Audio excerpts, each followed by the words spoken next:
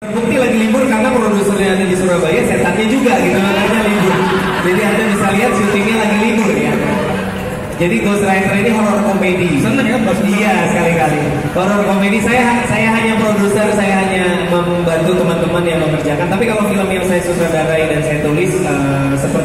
akan rilisnya di bulan Desember.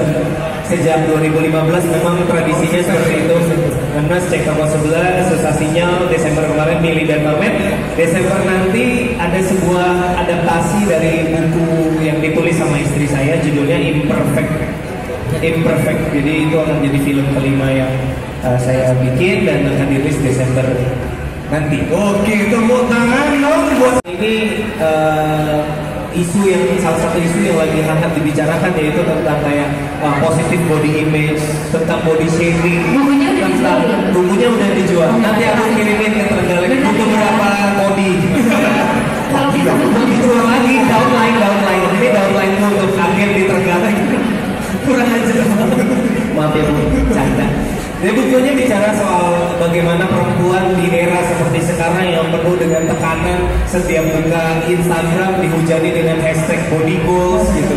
Yang merasa kalau dirinya nggak badannya nggak kayak Syahrini terus ada yang kurang sama dirinya gitu. Itu sesuatu isu yang buat kami buat aku dan istri serius sekali untuk saat ini. Jadi kayak sosial media itu positif tapi sisi lain beracun juga gitu. Kalau kita nggak punya mindset yang kuat menghadapi semua cantik itu ya harus badannya begini kulitnya harus putih rambutnya harus panjang. Maksudnya definisi-definisi seperti itu menyudutkan perempuan gitu. Jadi film ini salah satunya membahas tentang bagaimana imperfect itu tidak sempurna tapi bagaimana eh, apa namanya berdamai dengan segala yang tidak sempurna tentang diri kita. Karena sebenarnya gak ada yang sempurna juga.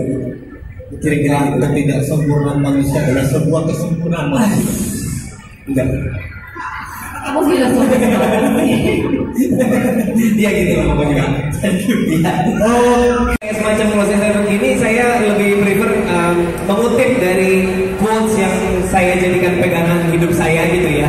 Jadi uh, saya pernah nonton sebuah video tahun 2008 11 tahun yang lalu ketika almarhum Steve Jobs lagi pidato di kelulusan Stanford University. Ketika di teman-teman bisa cari di YouTube Steve Jobs Stanford University kalau pengen lihat uh, video fullnya ada 20 menitan kalau nggak salah. Tapi di akhir itu dia bilang eh, dia kasih kalimat cuma empat kata aja. Dia bilang stay hungry, stay foolish. Stay hungry, stay foolish. Tetaplah lapar dan tetaplah bodoh. Maksudnya gimana? Maksudnya adalah kita jangan pernah ngerasa kita udah ngerasa cukup gitu sama apa yang kita pelajari. Tetap lapar sama ilmu-ilmu baru. Jangan pernah ngerasa kalau kita apa yang kita pelajari sekarang udah cukup buat bekal kita enggak. Sampai sekarang sampai aku udah di titik ini juga selalu berusaha untuk menantang zona nyaman, selalu berusaha untuk belajar hal-hal yang baru. Dan stay foolish, selalu merasa bodoh. Maksudnya adalah.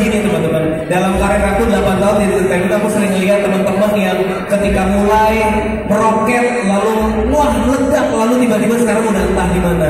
Lupa untuk stay foolish, lupa untuk merasa bodoh. Selalu udah merasa, oh iya gue udah hebat, gue udah pinter. Yang lain mah apaan gitu. Mindset itu yang bisa membuat kita jatuh. Jadi selalu ingat untuk stay hungry dan stay foolish. Itu aja. Terima kasih.